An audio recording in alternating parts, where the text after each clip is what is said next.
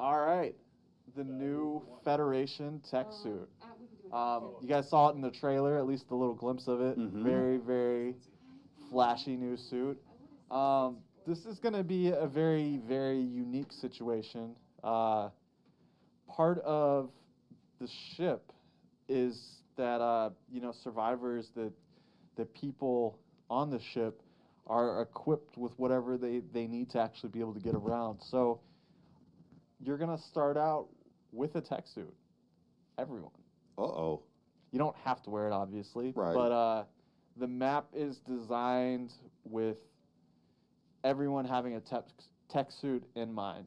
That everyone can get around, that they have the ability to fly with a jetpack at least um, as a core feature of this whole map. So we are not only flyers, but also Tek abilities are going to be enabled in the map.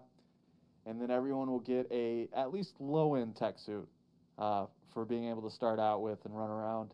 And it is a beautiful Tek suit. And of course, you can put it on top of your current Tek suit for any, any gear that you have that has good stats that you've earned and you want to, you know, have a high end Tek suit that also looks great.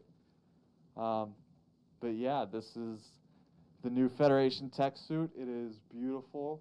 It is, man. A lot of people uh, were catching pieces of this here and there and different things that we've released. Uh, so, man, I'm glad people actually got a chance to see this in its full form uh, because, you know, we've been teasing people with it. We showed a helmet and a shot of. Uh, uh, for our Fear Evolved to launch, we showed a helmet with Noglin.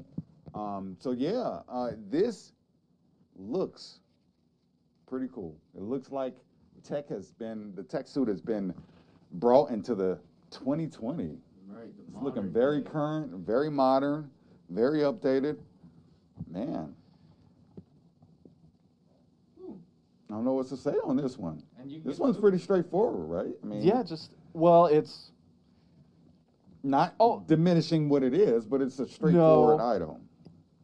It is, but it's it's a very unique item too, and just the way that it's being implemented, so that it can be a Tek suit and a skin for your current Tek suit, Yeah. where it has stats, but it also works as a skin. Like that's a very complex thing and something that you spawn in with, and so it's very, very, very different. But also, it is just another version of the Tek suit, an updated, fancier version, Mhm. uh, Federation style, as opposed to basic Tek that we're we're more familiar with. This is more of the style of the ship Mm-mm. that you're on. Hmm. Strange, the Federation style Inter- being that. Interesting. Yeah. Ah. Hmm. Hmm. well, unfortunately, Jackson, that also means that since this was a quick one. Hey, to be fair, Lindsay said we should pick the winner at the same time.